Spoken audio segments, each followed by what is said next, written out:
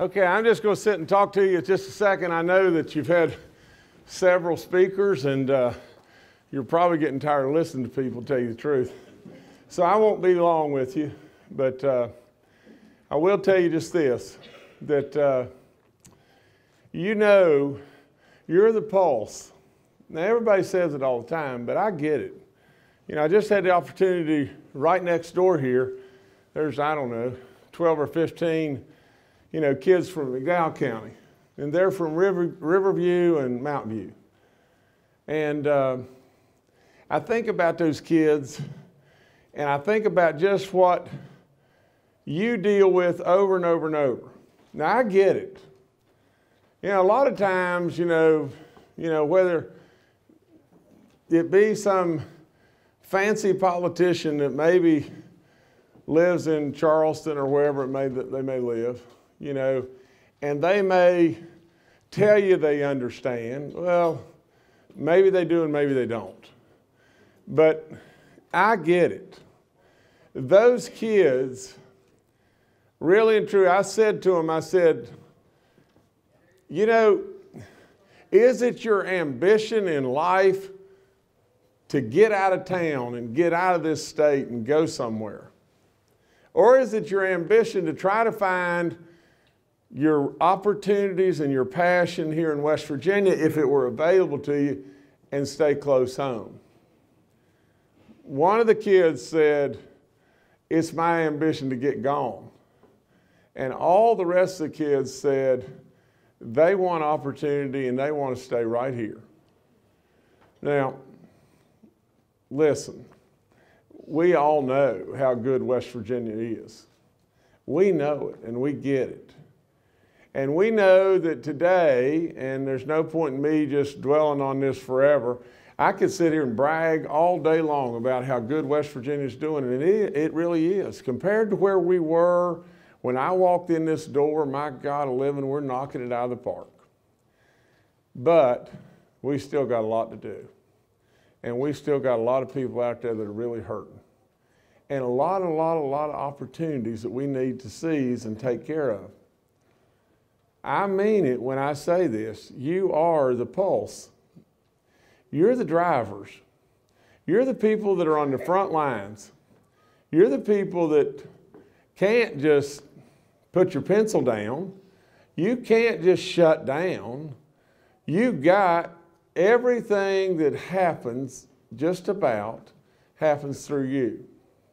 So I congratulate you. A lot of times it's a thankless job. A lot of times my job is a thankless job, you know, but at the same time, I'd say two things.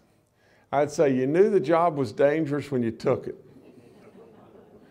And the other thing is, God bless you for having the ability and the care to serve. Because at the end of the day, that's what turns the wheel. Now, we got lots of stuff to do. You know, there's there's times that uh, I've surely tried to step up to the plate and be right with you, whether it be this horrible, devastating, devastating flood stuff that we, you know, that we all suffered through beyond belief. Worst thing that I've ever been through in my life, the worst thing. Or it may be, you know, a terrible warehouse type fire in Parkersburg and nobody knew what to do everybody sat around on their hands and everybody was just all to pieces. What are we going to do? What are we going to do? The county doesn't have enough money to do this or that and everything else. And the state's lockjawed because this, this is a private business and they should have insurance and the insurance pop people are not coming through and the fire continues and the smoke continues and our people continue to suffer. Somebody had to make a decision. And I did. I made the decision that quick. And so at the end of the day, you know, we're still hacking up with the insurance company and trying to get our money back, but somebody had to make a decision on what to do. Well, you see, I'm not the guy that's not going to make decisions. I'm not a politician. You know, I've said it a million times over. At the end of the day, in lots and lots of ways, I don't really care if you're a Republican or a Democrat or independent. I, all I care about is it's your West Virginians and you want goodness for our state. I've said over and over, I really don't want anything. I really don't want anything for me. But I really do want something. And that is this I want what's going on right now in West Virginia, and I want it to just keep getting better and better and better. I want goodness for our people. So I really do want something. I really don't want anything for me, but I want goodness for our people. So at the end of the day, I won't talk here forever. I'll just congratulate you on the great work that you do.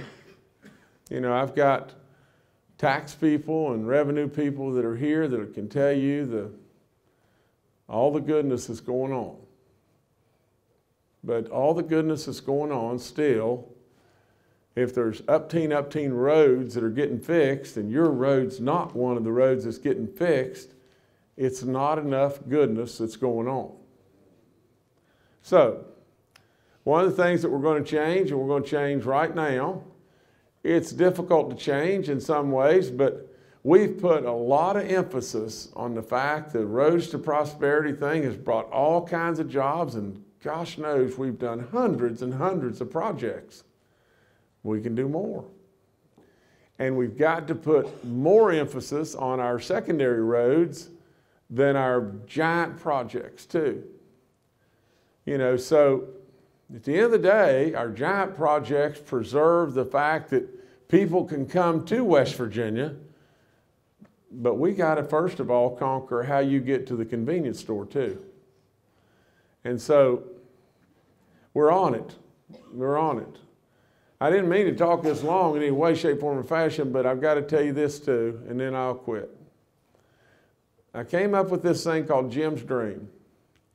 And at the end of the day, what I could see is whether it be the community colleges, the four year colleges, the tech schools, the ag places, you know, the treatment facilities, all the different aspects, everybody, all the time is just going around and around and around and around and around, and we're losing the battle.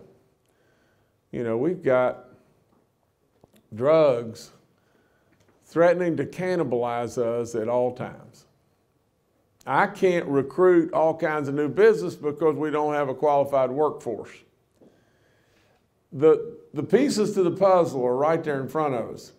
Now, y'all can say a lot of things, but I'll, I'll bet you all the money in Texas just this that if you'll give me the pieces of the puzzle, you'll not find anybody better that can put the pieces together. And I don't say that egotistically, I just say that as fact. I know how to do it, and I'll get the pieces put together. Now, this Jim's Dream thing may not be exactly perfect today, and we may have to tweak and tweak and tweak. But if the legislature will give me the opportunity to put it into motion, we'll make a difference. We won't be coming back here over and over and over saying we're still just dead last, dead last, dead last in the, in, in the drug epidemic, and we're trying every way in the world to do something about it. And in addition to that, in this Jim's Dream thing, whether you have no drug issues whatsoever or drug issues, you can come and participate just as well. You see, we got all kinds of young people in this state right now that, and I've seen it. You know, I've been, I've been out on one of our surface mine jobs with my son Jay and see a kid drive up, and he's a kid because he's a lot younger than me, but whether it be 20 or 22 years old, his wife in the car and two babies and just a kind of a beat up old car and everything. Had to drive through the mud and everything under the sun to get out there on that job. And then he says, uh, you know, the foreman goes up to him and says, he says, I'm here because I understand y'all got some jobs that are available and I need a job. He said, I can pass a drug test and I'll work night and day. I'll do anything and everything. I need a job. And the first thing the foreman says is, Do you have any experience? And he says, Well, not really, but I'll work really, really hard. And the foreman has to say to him, You know, well, let us try to get back to you and find something somewhere maybe you can do, but we can't afford, there's no way that you can put the guy out there on a D11 bulldozer if he doesn't have any idea how to run it because he'll kill himself or somebody. So he's caught. He's caught in this, in this spin cycle, and what's he going to do? What's he going to do? He can't afford to step away from government payments and government insurance or whatever it may be and take a job making $7 and something an hour. He can't afford to get out of the spin cycle. What's he going to do? And then, if you don't watch out, drugs are always there. The temptation's always there. Here's a kid that just wants a chance. And we in West Virginia desperately need a trained workforce. So we need to train him. We need to give him the opportunity to become trained. That's what we're going to do. And, and so Jim's dream's got a lot of aspects to it and everything, and it can be good. I would tell you all this, you know, you're welcome. You're welcome in our tunnel within our people and projects you have. We'll listen and we'll try to help in every way we can every day. But the biggest thing I can do is congratulate you for the great work you do. And Dave and Mark, I don't know, are y'all here for anything to do with me or, or, or y'all here just to, to throw eggs at me, you know? but, but let me tell you the last thing you know, and and this, I mean, I'll tell this later on today too, but this I heard this morning. This to me is what's wrong in a lot of ways. Now you got to think through this and everything to get what's kind of wrong. But I was watching TV this morning about five o'clock, and and they came on and they said, "There's been a new study that's just completed." There's been a new study that people have done, and they've, and they've just completed a study, and they want to report that kids' allowances have increased by 6.2%. And I thought, what? I mean, and, and they were reporting it like it was news. And they said, this year kids' allowances have gone to I don't know if they said $406 or $40.60.